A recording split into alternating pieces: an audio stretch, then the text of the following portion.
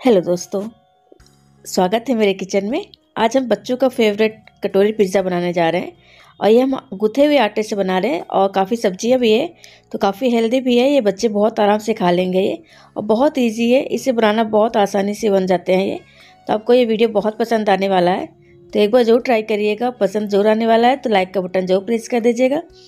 और जो मेरे चैनल पे पहली बार आ रहे हैं तो प्लीज़ सब्सक्राइब कर लीजिएगा। अगर फेसबुक पे देख रहे हैं तो प्लीज़ फॉलो कर लीजिएगा मेरे पेज को और अपनी फैमिली और फ्रेंड को ज़रूर शेयर कर दीजिएगा।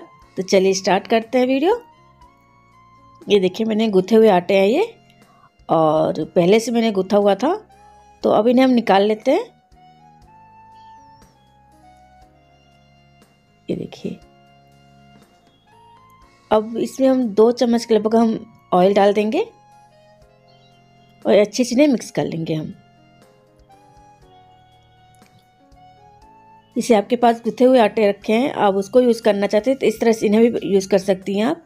अब इसमें हम थोड़ा सा नमक डाल देंगे, जिससे जो कटोरी बनते हैं, इसके जो बनते हैं, वो बहुत ही क्रिस्पी और बहुत टेस्टी लगते हैं ये। तो ये देखिए, अच्छे से मैंने मिक्स कर लिया इन्हें।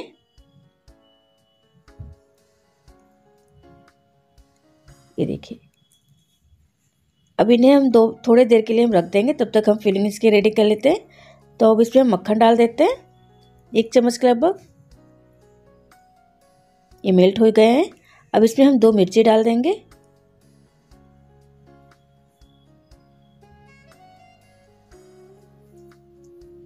अब कुछ मटर डाल देते हैं हमने। इन्हें थोड़ा सा हम पका लेंगे, थोड़ा सा बिल्कुल।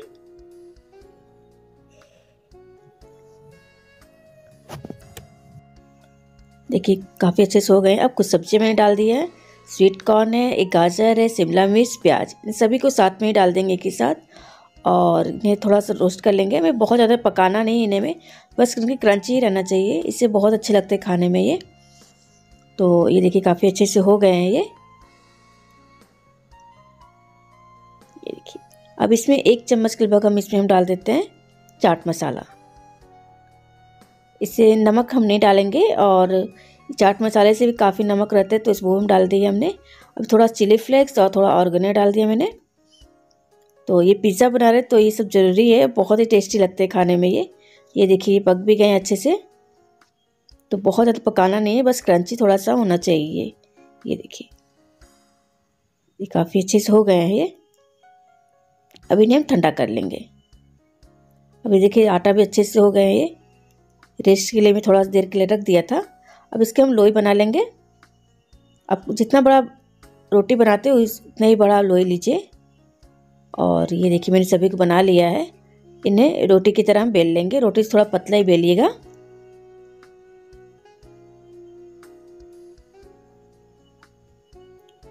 ये देखिए मैंने बेली इतनी पतला हमने बेल दिया इन्हें। इसी तरह हम सभी को बना लेंगे हम।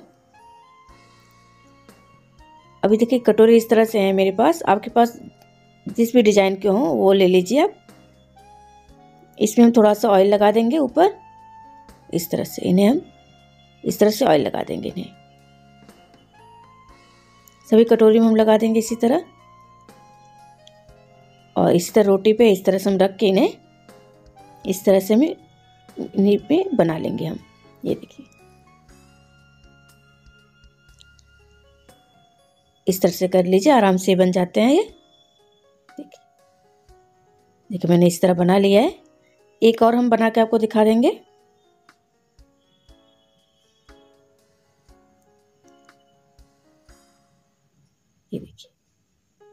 इस तरह से इन्हें हम करते जाएँगे। थोड़ा थोड़ा इस तरह से।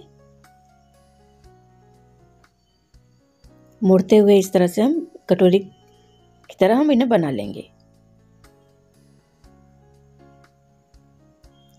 बन गए आराम से ये। इसी तरह सभी को आप बना लेंगे। ये बहुत ईजी है, बहुत आराम से ये बन जाएँगे ये। और बहुत टेस्टी लगते हैं बहुत क्रिस्पी हो जाते हैं ये। अब तेल अच्छे से गर्म हो जाए फिर इन्हें हम डाल देंगे।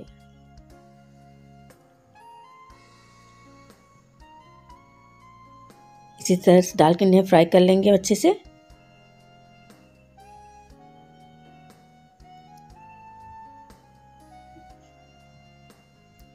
ये अपने आप ही निकल जाते हैं कटोरी जो होते हैं और अच्छे से छोड़ देंगे पहले से।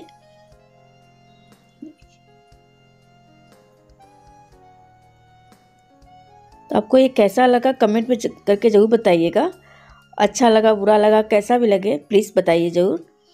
और अपनी पसंद आए तो लाइक का भी बटन प्रेस कर दीजिएगा, बहुत अच्छा लगता है आप लोग करते हैं। तो इस तरह से हम कटोरी कटोरी में इस तरह से हम फ्राई कर लिया मैंने देखिए देखिए, अपने आप ही ये निकल गए। ये खाने में बहुत टेस्टी लगते हैं ये। तो ये काफ़ी हेल्दी भी आटे से बनाया है तो काफ़ी बच्चे भी आराम से खा लेंगे, उन्हें बहुत पसंद आएगा। तो ये देखिए मैंने इन्हें फ्राई कर लिया अच्छे से।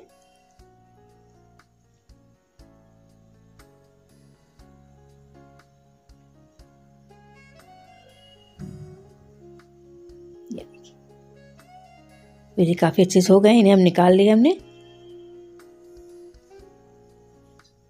ये देखिए। ये देखिए, कितने क्रिस्पी लग रहे हैं देखने में और बहुत ही क्रंची, बहुत ही टेस्टी लगते हैं ये खाने में। अब इसमें थोड़ा सॉस लगा देंगे।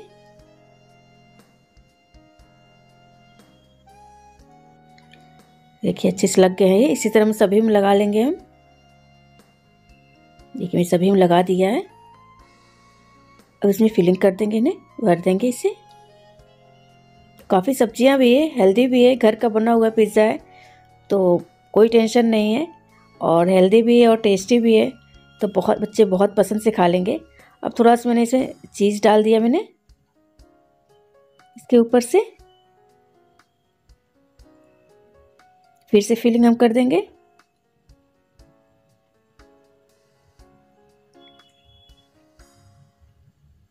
आपके पास जो सब्ज़ियाँ वो डाल के बनाइए। अब इसके ऊपर से थोड़ा सा स्लाइस वाली चीज़ हम डाल दे रहे हैं। आपके पास कोई भी चीज़ हो वो डालिए। देखिए, इस तरह से मैंने रख दिया है। थोड़ा सा ऑर्गेनो डाल देते हैं इसमें।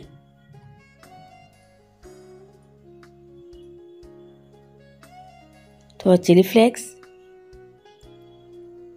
बहुत ही चटपटा टेस्टी बन जाते हैं ये पिज़्ज़ा। अब इसे कढ़ाई में एक स्टैंड इस तरह से रख देंगे।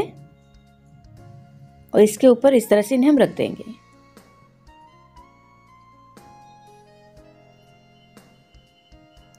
और पाँच मिनट के लिए सिर्फ़ इन्हें ढक देंगे हम। देखिए, पाँच मिनट बाद ये देखिए, कितने आसानी से, कितने अच्छे लग रहे हैं देखने में, कितने आराम से हो गए ये। तो इन्हें हम प्लेट में निकाल लिए हमने। ये देखिए, कितने अच्छे लग रहे हैं ये।